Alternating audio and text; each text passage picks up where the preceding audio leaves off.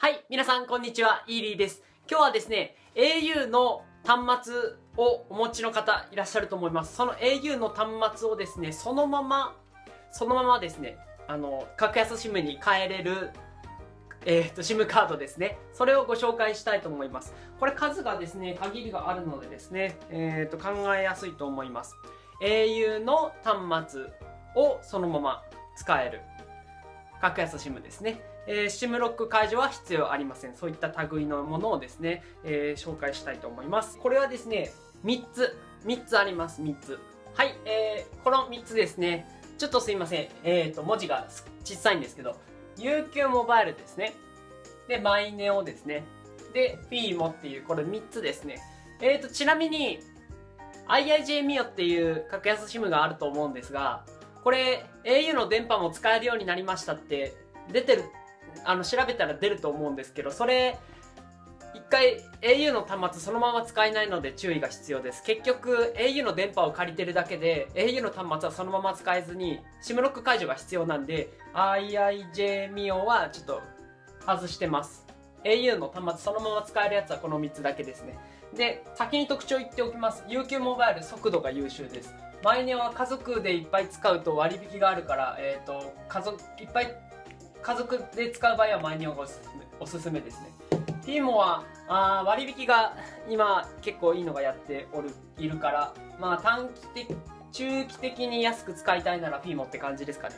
でいうのが、えー、なんだ 特徴ですね。ざっくりした。で速度について喋っていきます、えー、実際に出る速度ですね。8時、12時、19時ですね。これは一番、えー、混み合ってる時間帯と言われています。で、一番混み合ってるのが12時の時間帯ですね。お昼タイムですね。で、まず、まず、えー、っと、UQ モバイルから、えー、やっていきます。これ、ちょっとあくまで下りの速度しか書かない、書かないんですけど、UQ モバイルはこんな感じになってます。8時台60、下り67.3メガ。12時台63.7メガ。19時台49.0メガ出ますここお昼のタイムっていうのが一番速度が遅くなる時間帯なんですけど UQ モバイルに関してはですねそのそれはないです。安定感がずば抜けて高いんですね。これこの安定感出せてるのは今のところ UQ モバイルだけですね。で次いきます。マイネオは8時台2.7メガ12時台0.6メガ19時台1.7メガとなっております。で12時台0.6しか出ないんですけどこれ。でもこれ他のいや格安 SIM ってこれが普通なんですよ。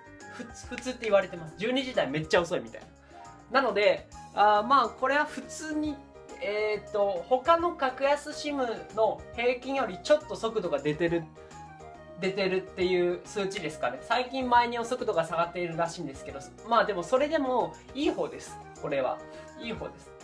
で2.7出てたら動画も問題なく見れる速度ですねちなみにフィーモに関してはマイネオの速度を借りているのでそのまま、まあ、一緒の数値って思ってくれたら大丈夫です。速度に関してはこんな感じになっています。はいではですね次は料金について料金について喋りたいと思います。と料金はまず UQ モバイルからやっていきますが、えー、UQ モバイルは3ギガしかありません、えー、3ギガ980円ですね。他にもですね UQ モバイルはあなんだっけ？UQ モバイルはですねあのぴったりプランってやつはあるんですけど au からそのまま UQ モバイルに引っ越すっていう人は申し込めるは申し込めるんですけど、えー、と割引が適用されていないので今回はその話は省きます。なので基本3ギガ980円と思ってくれたらと思いますね。あと一応データ無制限っていうプランもありますけどそれはちょっと全部書いた後にちょちょっと説明したいと思います。でマイネオですね。マイネオはでフィーモですけどとなっております。UQ モバイルとマイネオとフィーモこれ、えー、見ていくとこんな感じになっておりますねで UQ は3ギガだけでマイネオはまあ一番プランがいろんなプランがありますで、フィーモは3ギガからスタートしておりますという感じですね。えー、これ比較した場合ですね、そんなに料金変わんないと思います。980、900、900、900、900、あんまり変わんないなというところですよね。あの、ラインナップの違いですね、ラインナップの違い。SMS をつけたい場合は、これは UQ モバイルかかりません。マイニョかかりません。フィーモだけ150円ですね。フィーモだけ150円かかります。音声 SIM ですね。音声通話をつけたいのであればこれこ UQ モバイルは700円ですねで610円610円700円という感じになっております電話データだけじゃなくて電話もですねしたい場合はですね700これだけかかりますのでここもあんまり変わらないかなっていう感じがしますね。ではですねさっき言ってたデータ無制限についてなんですけどすいませんちょっと消しちゃったんですけど書き直しました。重要重要なところだけ。比較しやすいところだけ。あの UQ モバイルの、えーと、データ無制限なんですけどこれはですね1980円します。ただこれですね注意点。500kbps しか出ません。だからまあ0.5メガですね。言い換えると。0.5メガしか出ませんただこれネットの情報を見るとですね、すごいんですけど、0.5メガ以上出ると1メガ出たりするっていうですね、Twitter とかのですね、つぶやきとかもあのあってですね、この上限超えることがあるらしいんですよ。結構優秀、優秀すぎるっていうぐらいの優秀さですね。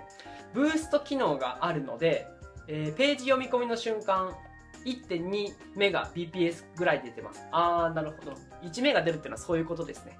えー、なのでブースト機能があるのでそれぐらい出るとブースト機能ちょっと知らない人のために最初サイトを閲覧するときに読み読み込みサイトを読み込む時だけ速度が出ればいいわけでそういう時ブースブースト機能っていうのがあるとああの快適に見れます最初だけまあこんな感じでメメガメガの速度が出てあとはもう低速になるとサイトの閲覧とこだったら最初の読み込みだけ読み込んであとはもう低速に移るという形になるのでブースト機能があるとサイトの閲覧は結構快適に見れますっていうのがブースト機能です。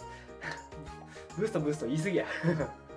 でえっ、ー、と動画と画像がいっぱいあるサイトの読み込みがちょっと遅いだけっていう感じと、まあ、そういった報告つぶやきがありました。であと音楽いっぱい聴く人とか容量を気にせんでよくなると。多分これユース、あのー、ストリーミング配信の音楽のことを言ってるんだと思いますね。であれば、ストリーミング配信の音楽とかだったら気にせず、えーと、見れ、あの、聞けると。で、あと動画に関して、動画は荒いけどどうにか見れるレベルと。これですね。あのデータ無制限の。どうにか見れる部分と。通信量気にしなくていいのは助かると。使いまくったら速速度が低速になると。これの場合だったら低速の低速、超低速になるということはないということですね。で、あとバースト機能のおかげで、あ、これさっき言ったな。YouTube の動画 240p だったら余裕で見れる。360p だとちょいちょい止まる。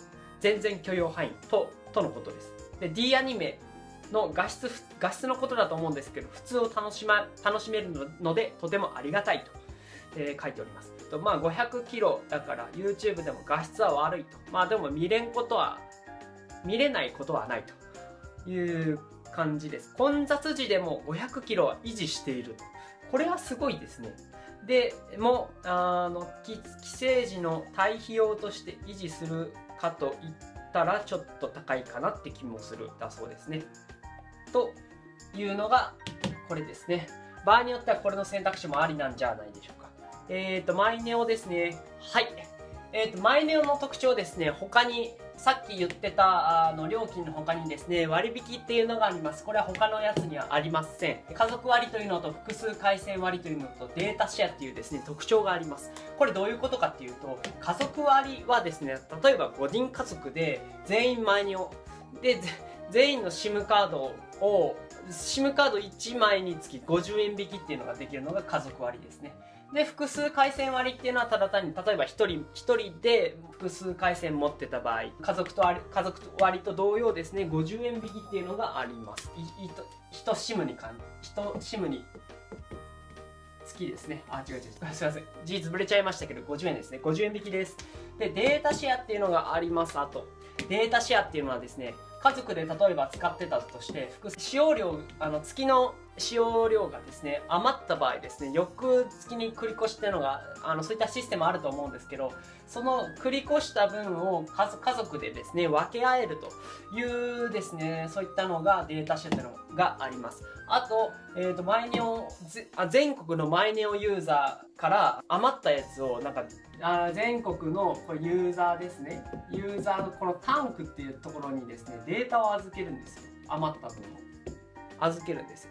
で預けてで足りなくなった人はここのデータからですね最大1ギガ使えるんですでこのデータの中にはと枯渇はしていないようなので毎月3ギガであっても、まあ、4ギガ使えるって思っていただいただいたらと思います。がマイネオ独自の特徴ですよね。他はやってないありません。このデータのタンクっていう。割引に関してです。UQ モバイルの割引はぴったりプランっていうのがありますが au のユーザーはあユーザーから UQ モバイルに引っ越すと。そういった場合も一応使えますけどキャンペーンにつきちょっとギガ数上がったり値引きされたりっていうのがあるんですけどそれがないので、えー、これあんまり UQ モバイルないと思ってください。でマイネオに関してなんですけど6ヶ月マイナス800円引きっていうキャンペーンがあるんですけどただし音声通話機能付きの申し込みに限ります。データ専用のやつはこれこれ対象外なので注意が必要です。で次フィーモに関してなんですけどこれ今8ヶ月500円引きですね。これはですねこういうこんな感じのあの音声通話のみっていう条件はついておりません。ついてありません。えっ、ー、とデータ専用でもどのどのデータ専用でも音声通話でも8ヶ月マイナス500円です。昔のサイトとか出てきたんですけどキャンペーン期間中今なんですけどこれ過ぎても多分何かしらやってます。前前だったらなんかなんだっけ？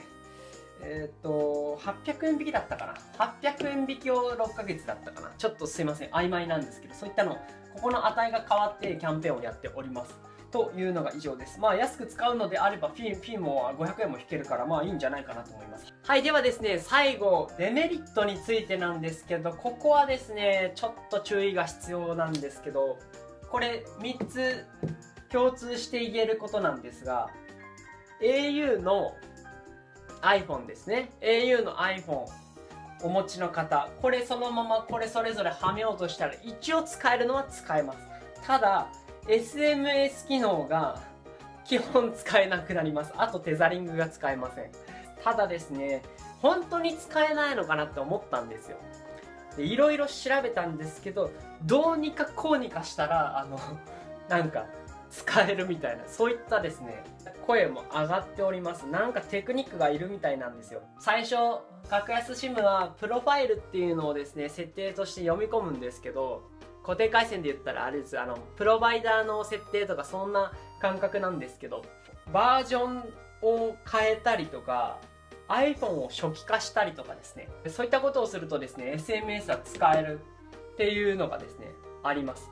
テザリングはって思ったらもうこれ基本テザリング使えなくなってしまうと思ってもらった方がいいです。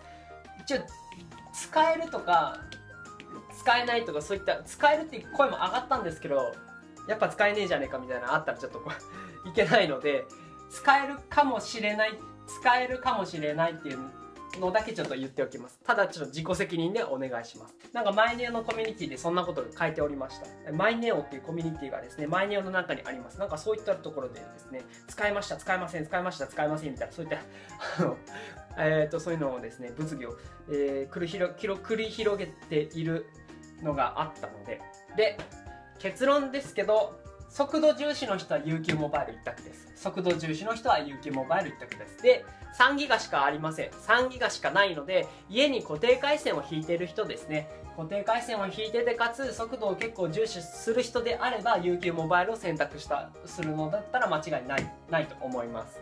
で、次、えーと、家族で、えーと、安くしたいっていうのであればマイネオですねマイネオ。でデータシェアもあるし家族であの割引50円ですけど結構大人数だったら、まあ、割と安くなるんじゃないかなと思うのでマイネオは家族向けですね。いっぱい使いたい人あ複数で使う人ですね。フィーモは中期的まあなんだっけ中期的に割引500円8ヶ月8ヶ月マイナス500円というのができるので安く瞬間的に使いたいのであればフィーモで。ただ速度は UQ モバイルと比べるとやっぱ遅くなりますけどそんなん気にしないよと。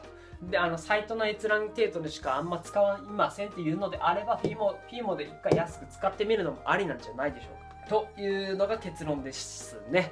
いかがでした？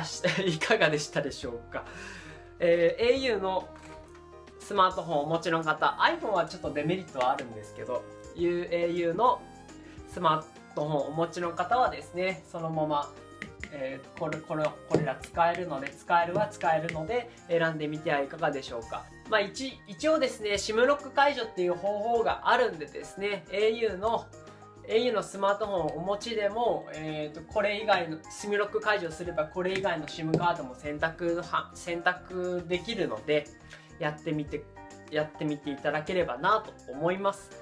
あ一応 SIM ロック解除の方法ですけど2015年の5月以降に発売された SIM えーと、スマートフォンは SIM ロック解除可能なので、まあ、ネットでやるか店頭でやるか。店頭でやると3000かかるのでこういうこういったところの事務手数料と合計すると6000かかります、まあ、なのでなので、えーと、ネットで、えー、できできる人は SIM ロック解除はネットでやっちゃいましょう、えー、今日のお話は以上になります。ご参考にしていただければ幸いです。どうもありがとうございました。ご視聴どうもありがとうございます。よろしければチャンネル登録をお願いします。えー、スマートフォンの方は下の方からお願いします。えー、コメント、高評価していただけると大変励みになります。あとですね、Facebook と Twitter もやっております。えーと、Facebook の方はですね、早めに配信をしておりますのでよろしくお願いします。それではですね、えー、節約をして、えー、自分の投資とか家族サービスとかですね、有意義なものに使っていただければと思います。それではまたお会いしましょう。